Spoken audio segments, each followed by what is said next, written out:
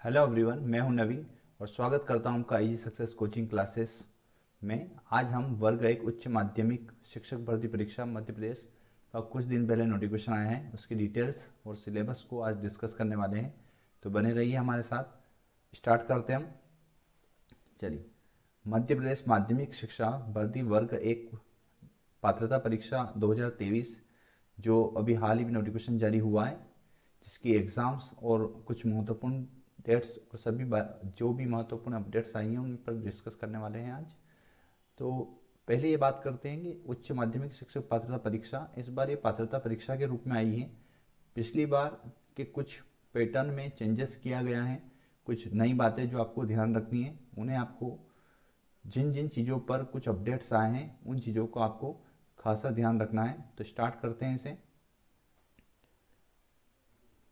मध्य प्रदेश शिक्षक पात्रता परीक्षा 2023 की शैक्षणिक योग्यता, अगर सबसे प्रारंभिक बात करें शैक्षणिक योग्यता की तो यहाँ पर जो प्राचीन या पहले इससे पहले जो एग्ज़ाम्स हुई हैं, उनमें जो शैक्षणिक योग्यता थी, उनमें कोई खास बदलाव नहीं हुआ है।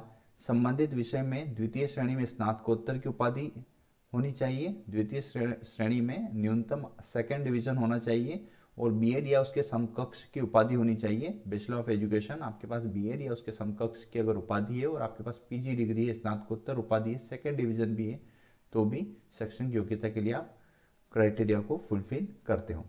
इसके आगे की बात करें तो शैक्षणिक योग्यता में कुछ और पॉइंट्स को आपको ध्यान रखना है। देखिए यहाँ पर, उच्च माध्यमिक शिक्षक भर्ती परीक्षा में एस टी दिव्यांग और आर्थिक रूप से कमज़ोर ईडब्ल्यूएस में 50 परसेंट न्यूनतम आपको अंक परसेंट लाने हैं। न्यूनतम जो पात्रता परीक्षा के लिए अर्हता रहेगी, वो है 50 परसेंट। फिफ्टी परसेंट लाना है आपको और अन्य के लिए जो जनरल में है और अन्य हैं उनमें 60 परसेंट हासिल करना है। वही पहले जो था क्राइटेरिया क्वालिफाई होने के लिए, वही आज भी क्वालिफाई होने के लिए क्राइटेरिया रखा गया है।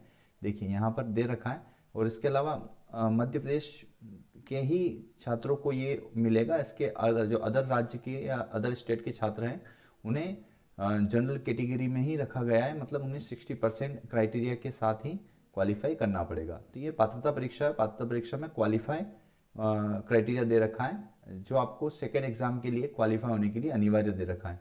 तो जो अनिवार्य क्राइटेरिया है वो है fifty percent S T S C OBC दिव्यांग और आर्थिक रूप से कमज़ोर ई के लिए फिफ्टी परसेंट मीन्स आपका वन फिफ्टी का पेपर है तो आपको इसमें सेवेंटी फाइव लाने हैं, फिफ्टी परसेंट, और सिक्सटी परसेंट की बात करें तो कितने हो जाएँगे? नाइन्टी तो नाइन्टी मार्क्स आपको वन फिफ्टी में से लाने हैं तो आप क्वालिफाई हो पात्रता परीक्षा में, ठीक है?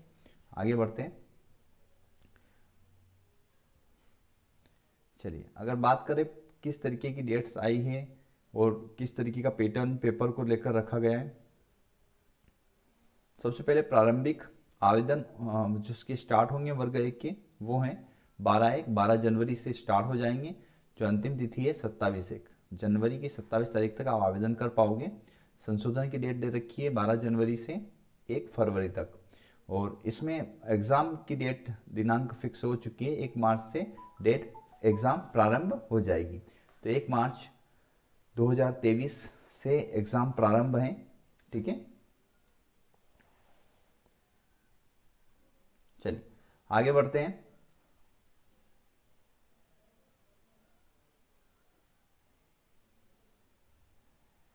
चलिए, इसके बाद बात करें अगर।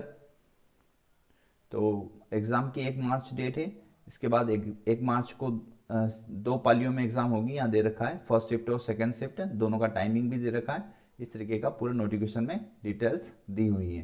पेपर की आवेदन करने के लिए जो अभ्यर्थियों के लिए प्रश्न पत्र के लिए पाँच सौ रुपये चार्ज रहेगा, जो अनारक्षित हैं जनरल में अदर के लिए टू फिफ्टी रहेगा। इसके अलावा जो पचास रुपये या हंड्रेड रुपये प्रति प्रश्न पर। जो विभागीय शिक्षा विभाग के द्वारा शुल्क जारी किया गया है, वह सौ रुपये और पचास रुपये इस तरीके के अगर यहाँ पर और दो तरीके के पेपर होते हैं तो इनके छः सौ रुपये बन जाते हैं और यहाँ पर तीन सौ रुपये बन जाते हैं। तो इस तरीके से टोटल पेमेंट बता रखा है फॉर्म फिल करने के लिए। चलिए, आगे बढ़ते हैं।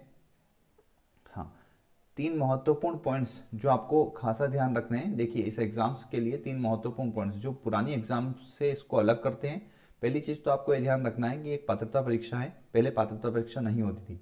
मध्य प्रदेश शिक्षक भर्ती परीक्षा जो लास्ट समय हुई थी, उसमें पात्रता परीक्षा नहीं थी, उसमें एक ही भर्ती ली गई थी और उसी से ज्वाइनिंग मिल चुकी थी।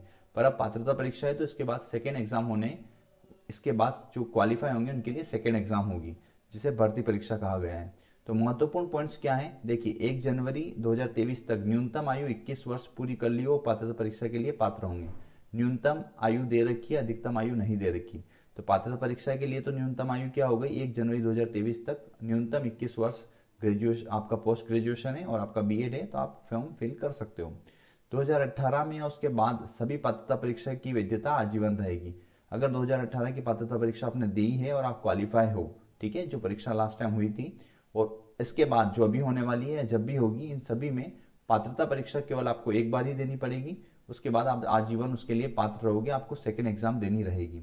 अंतिम वर्ष में अध्ययनरत विद्यार्थियों के लिए आवेदन कर सकते हैं जो अंतिम वर्ष में मतलब उनका जो पीजी फाइनल चल रहा है या बीएड फाइनल चल रहा है, ये दोनों विद्यार्थी यहाँ पर अप्लाई कर सकते हैं और दोनों ही अप्लाई करने के लिए, ठीक है, उन्हें अर्हता प्राप्त है अप्लाई उनका किया जा सकता है फॉर्म फिल हो सकता है। चलिए नेक्स्ट आगे बढ़ते हैं। अगर बात करें कुछ पैटर्न की तो पेपर का पैटर्न में भी कुछ बदलाव किए गए देखिए जो पहले 50 मार्क्स का पैटर्न था, वो अब 30 मार्क्स पे कर दिया गया है, जिसमें अगर बात करें सामान्य हिंदी तो सामान्य हिंदी का जो रहेगा वो आठ क्वेश्चन रहेंगे, ठीक है? आठ नंबर के। अंग्रेज़ी की बात करें तो पाँच क्वेश्चन रहेंगे। अगर हम समसामायिक तार्किक आंशिक योग्यता मतलब इसमें जीके रीजनिंग आ गया मैथ्स के कुछ क्वेश्चन और सामान्य जीके जो सामान्य ज्ञान है वो आ गया तो सेवन मार्क्स के रहेंगे।